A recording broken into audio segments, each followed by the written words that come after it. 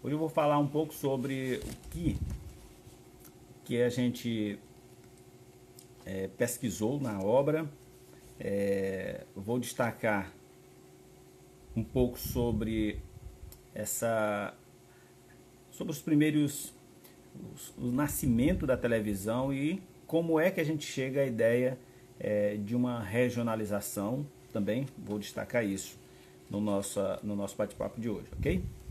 É, primeiramente, é, quero, quero destacar aqui é, o que a obra, de um modo em geral, ela traz no seu conteúdo, né? O que que despertou o interesse da pesquisa é, no momento em que eu estava é, desenvolvendo esse trabalho lá no programa de pós-graduação da Universidade Federal do Piauí, é, algumas questões foram perguntadas para a pesquisa, né? E que depois eu fui atrás para poder é, fazer exatamente esses questionamentos né? de é, é, objetivos específicos que eu fui atrás é, dessa pesquisa né? para que, que a gente pudesse é, responder ao longo do trabalho. É, primeiro foi identificar, identificar o que a Rede Meio Norte propõe como regionalização televisiva. Então, o livro é A Nova Televisão Regional, o título é esse. Um estudo sobre a regionalização midiática da Rede Meio Norte. Então, o objetivo primeiro é saber, identificar o que a Rede Meio Norte propõe como regionalização da programação televisiva. Então, essa é a questão norteadora. Em seguida, também discutir as estratégias adotadas pela emissora é, de televisão para o desenvolvimento dessa regionalização televisiva. Então, se ela tem um projeto de regionalização, ela também deve ter estratégias para desenvolver bem essa regionalização. Essa também foi uma outra questão que o estudo buscou revelar e ao longo do trabalho isso vai ficando mais claro. Uma, uma terceira questão também foi elencar os gêneros dos programas televisivos difundidos pela emissora. A emissora, na ocasião em que a pesquisa foi feita, ela contava com 40 programas. Então, é necessário que haja uma categorização e se diga. E aí eu fui buscar exatamente é, quem, quem trabalha essa categorização é Souza é, e ele destaca exatamente isso, como cada programa pode ser enquadrado dentro de uma categoria de gênero televisivo. E foi assim que cada programa dos 21 selecionados, eles foram é, colocados ali dentro de cada gênero. Então a gente tá, eu especifico no trabalho cada gênero que a pesquisa também conta. Uma outra questão foi investigar como o conteúdo regional é abordado é, dentro da grade transversal. É, vamos, vamos lá. É, como esse conteúdo é abordado dentro da grade transversal? Grade transversal aqui, eu busquei exatamente uma estratégia. A grade transversal ela foi uma estratégia, inclusive, que está dentro do estudo. É uma técnica de estudo que está no trabalho da, da professora é, Jaqueline Dourado, lá da Universidade Federal do Piauí. Ela estudou a Rede Globo e eu utilizei exatamente essa técnica da grade transversal, que ela, ela faz o seguinte, ela elege os, os programas referenciais dentro de cada gênero, aqueles programas com maior audiência, maior relevância, é, aqueles que são considerados os principais dentro da grade da programação da emissora, para serem analisados. Então, o objetivo foi eleger exatamente esses programas principais dentro de cada gênero. E aí, eu, como eu já disse anteriormente, usei os gêneros é, de Souza que faz esse estudo, elencando exatamente quais são os gêneros é, dentro da programação televisiva. É, também a pesquisa buscou refletir sobre é, como é é, sobre a, a maneira que a regionalização é desenvolvida pela própria emissora, destacando principalmente a contribuição que esse conteúdo tem na perspectiva da cidadania. Porque é, para, as, para que você fique ciente, uma emissora de televisão ela é uma concessão pública. Ela também ela é ou seja, se ela é uma concessão pública, ela, é, ela faz parte das políticas públicas na área da comunicação da, do espectro né, do estado, no Estado brasileiro, ou seja, daquilo que se trata de comunicação dentro da legislação brasileira e que, é claro, é, isso aí é tudo feito com base numa legislação é, que o Estado brasileiro tem. Logo, a mídia televisiva é regulada. Né? Hoje está tá em debate aí é, uma possível regulação da internet e isso está gerando uma polêmica danada que não deveria gerar tanto. Claro que quem é que está é, se obstando a isso? Quem é que está se esquivando né, dessa, dessa responsabilidade? Claro que as, as, as empresas que é, que estão gerindo né, todas essas grandes redes que hoje tomam conta da vida das pessoas. Que, e aí a gente já sabe quais são elas, quais são as principais, e elas estão botando dificuldade, né? Porque infelizmente a gente sabe o, o conteúdo, o conteúdo aquele conteúdo o extraordinário, né? Aquilo que é espetaculoso tende a gerar mais audiência e infelizmente muitas mentiras têm gerado muita audiência. Por conta disso, inclusive, é, há, há, toda uma resistência né, para que não haja uma regulação da mídia, da internet, né, enfim. Mas isso aí possivelmente deve seguir e deve passar. Mas só para destacar que a, a televisão ela tem uma regulação. Porém, é, há um disciplinamento que depois eu vou falar um pouco mais sobre isso mais tarde, né? É, em outro vídeo a gente vai falar um pouco mais sobre esse lado da regionalização, é, de uma regionalização mais disciplinada, que essa, ela, essa parte ainda está um pouco retardada, né? E depois a gente vai entrar nela. Mas, como eu havia prometido, falando um pouco da origem da televisão. Bem, a televisão no Brasil ela nasce local, né? É importante que a gente saiba disso. Ela nasce local.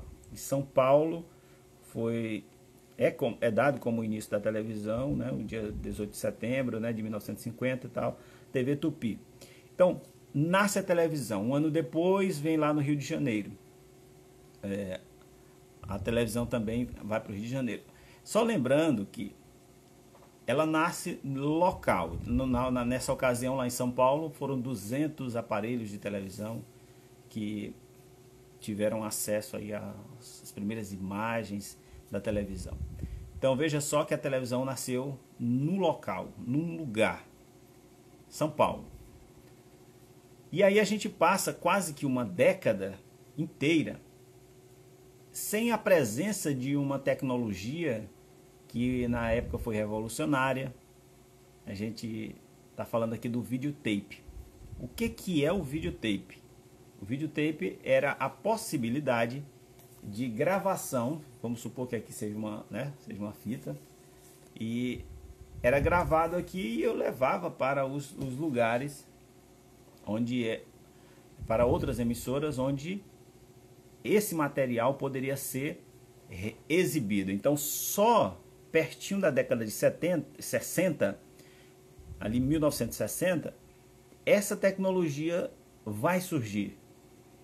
E isso vai dar um outro, é um up assim na, na televisão. E ela ganha não uma perspectiva regional, mas uma característica, digamos assim, que ela sai do local para uma, uma capilaridade quase que nacional. Por quê?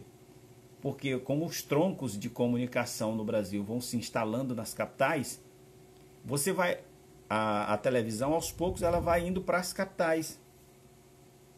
E, e o videotape é exatamente essa tecnologia que vai fazer com que os programas gravados no eixo Rio-São Paulo possam ser reproduzidos nesses lugares. Então a televisão nasce local, vai para uma perspectiva mais nacional e só lá para a década de 70, né, é, passando ali da década de 70, pertinho de 78, 79, é que a primeira emissora de televisão regional nasce no Rio Grande do Sul, que é a RBS. Então, a gente tem aí a primeira emissora nos moldes da regionalização televisiva que vai se estabelecer e a partir dali gerar todo um conteúdo baseado na sua realidade é, ali bem de proximidade, enfim.